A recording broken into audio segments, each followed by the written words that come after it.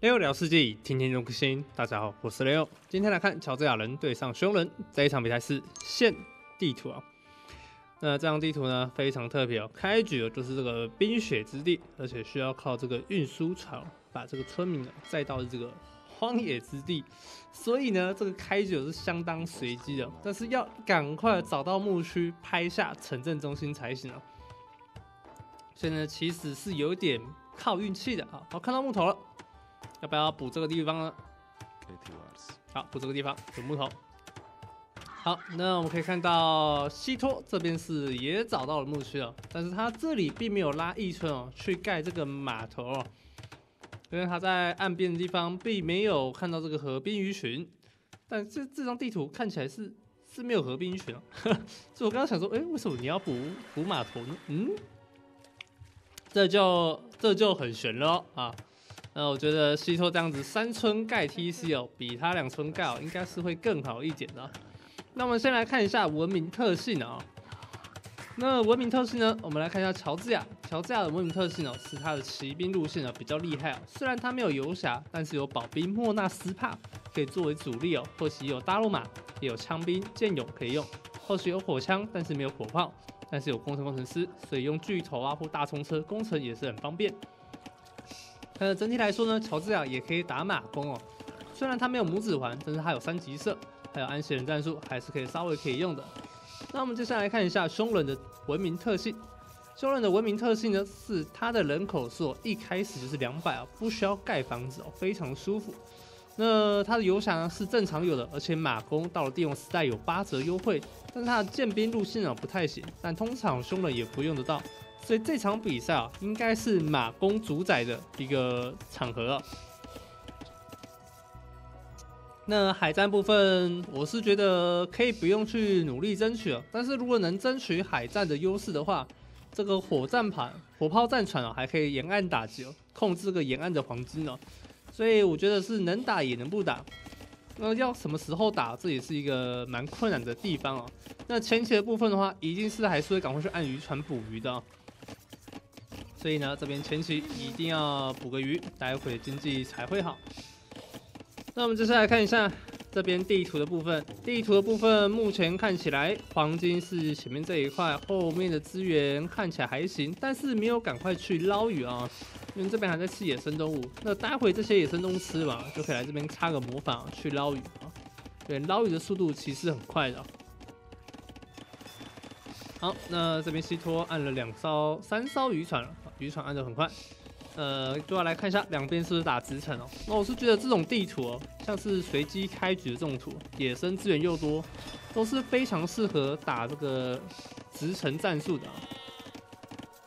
那直城战术这张地图来说的话，可能会打个二三加二或二四加二，比较极限的那一种。但是又考虑码头的情况下，有可能是二十五加二也不一定。那不管怎么说，这张地图打直城优势会比你打封建还要更好。那如果你打封建的话，还有一个优势就是可以提早出火战船去压制对方的渔船。所以到底是直城好还是风呃上风比较好？哦，这有点见仁见智了。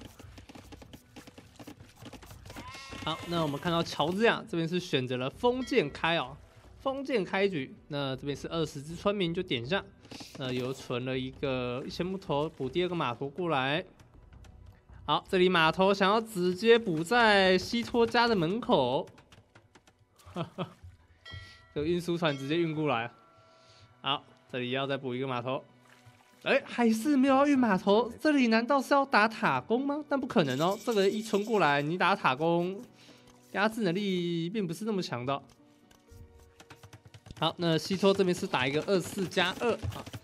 那可以看到这边渔船部分以及上风剑时代来回。战船就要出来，那西托这边伊斯兰封建时代先敲兵工厂，还有四级，包括是马马厩兵工厂都是 OK 的。好，这边是补了射箭场，但是还缺了一个建筑物。哎，为了按这个火战船的关系，兵工厂开不下去，好，有点小小尴尬。好，我火战船出来了。你说还没有开始盖，但是家里已经围好，乔治亚这边是打了一个野马柱的开局。哦，这边海战看一下了啊。好，海战这边渔船部分还有五艘，现在血量保存的很不错，但是火山船有点危险。好，对方的运输船在前面吸一点伤害。好，运输船爆掉，但是现在渔船开始也扛不住了。好，兵工厂盖好，点下了城堡赛。那这边马补了有点多啊，补了五匹马，但是城堡赛还不知道能不能赶快点上去，因为这里五只马打木墙其实很快哦。西托这边还没有注意到左边有动静啊，他只知道自己的海战已经全部被烧光了啊。没有这个捕鱼优势的，但对手还有四个渔船。那海战打完了，就可以考虑去捕渔船。但这张这张地图真的捕鱼也不用捕那么多，因为这个大鱼哦，可以看到其实很少。啊，这些现在总数也不到两千，啊，大概只有一千出头而已。好，这边建筑学直接把自己的弓箭手卡住，漂亮，一只弓箭手在里面。哎，哦，还可以走出来，哦，这里有流动，哈哈哈。我刚刚想说怎么卡在里面了。好，西托好像还没有注意到左边有杀机啊。好，西托这边城堡塞点下二级伐木也补了。现在乔治亚倾巢而出，六只肉马疯狂输出，点下了一级射，一级挖机。好，这里补下了一个四级。西托现在。有点压力哦，现在马弓出来稍微挡一下，但是射击还没有好，射程还不够有优势。好，这里点下了一个一级射，哎，溜进来，西托失误，哇靠，这一个失误好不应该。我刚刚想说你会马上补个什么兵工厂或者是射箭场之类的继续挡，结果直接被溜进来，但是对手有点怂，哎。这个怂了就好，反正就没事了。哇，最后这个被溜进来，然后被溜到后面这里一直闹，其实会很难受。但是可能看到里面已经没有办法骚扰到，所以决定要退出，再继续打。不然被关本兽这些兵可能会直接送掉。好，西托现在没有二级射，现在漏一点极限。这一波乔治亚野马厩跟野射箭场给到了西托一个 surprise。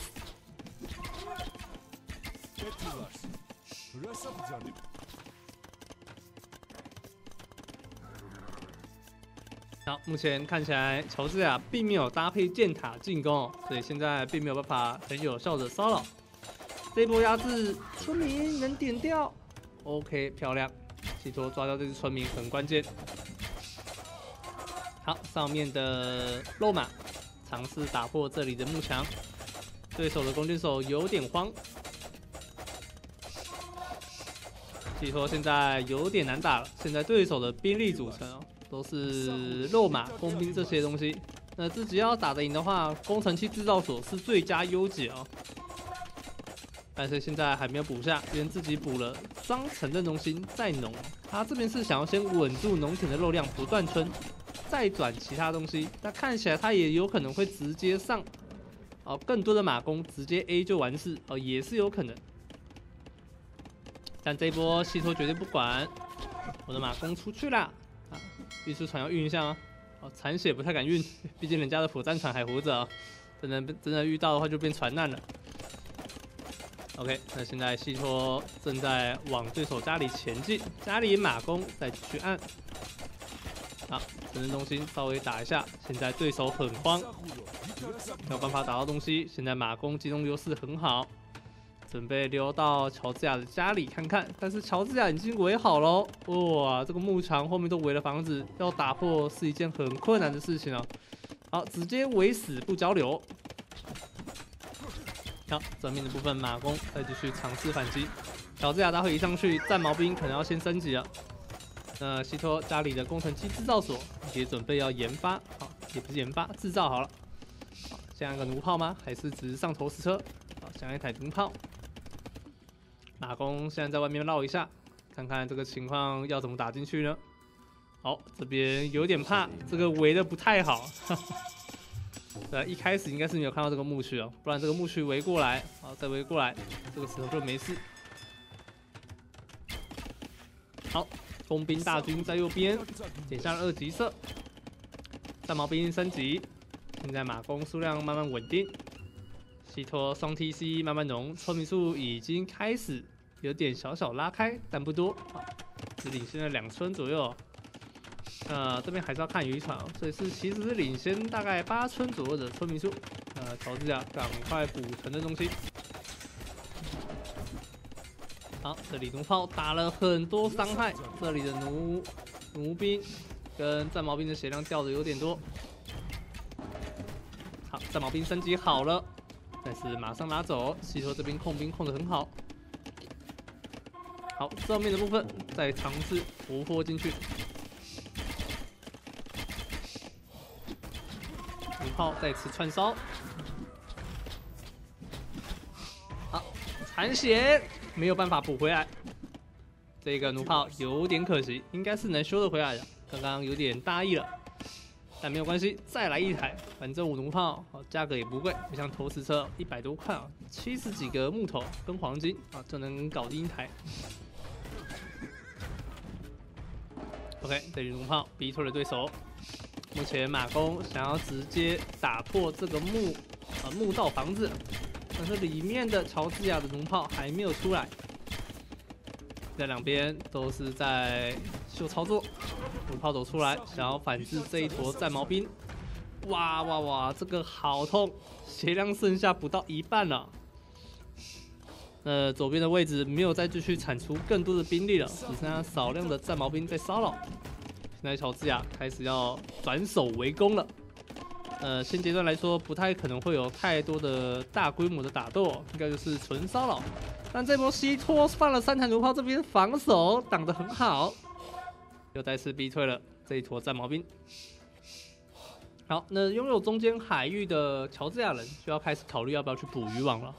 这里渔网要赶快先撒下，可能经济效益会再更好一点。但是这边撒渔网会有个问题，因为已经失去了野外的主动权，撒渔网的话可能还会被打掉，所以就会有一些比较会玩这张地图的玩家会在中间补这个码头。你既然已经获得了中间海战的主动权，啊，那就去补个码头在中间捕鱼会比较好。那他这边细节控制也没有很好，并没有把西托的码头给打掉，所以西托其实是可以哦，直接拿。火战船去烧对方的渔船，那这边细节部分对手有一些是没有注意到的，所以这边希托是有一个很好的机会去把对方的船给烧光的。那现在乔治亚家里防转守为攻，没有再多再做更多的改变，反而是越开越多 TC，开始转农了，点下了一级农田。好，那西托这边点下了弹道学，看起来马弓路线继续走，没有打算要转骑士。好，两边经济慢慢拉起来，现在游戏时间来到了三十分钟。这坨马弓还在骚扰，但是一直吃到弩炮伤害。好，弩炮想要过来拿掉吗？哎呦，火箭船过来直接被射掉。漂亮，这辆火战船没了。西托突然意识到，哎，我的码头还在，赶快按个火战船。但是还没有看到这里渔船的位置啊。好，左侧三弩炮继续压制。现在看起来西托优势非常巨大，结果这个弩炮直接串烂。好，这里直接一刷，想要抓掉一台弩炮，但是弩炮抓掉，自己损失了五匹马弓。好，这里渔船回来放肉，对，这里的火战船抓了个正着。好，这里才会看到，哦，原来你还有这么多渔船啊！这里可能会再继续补火战船吗？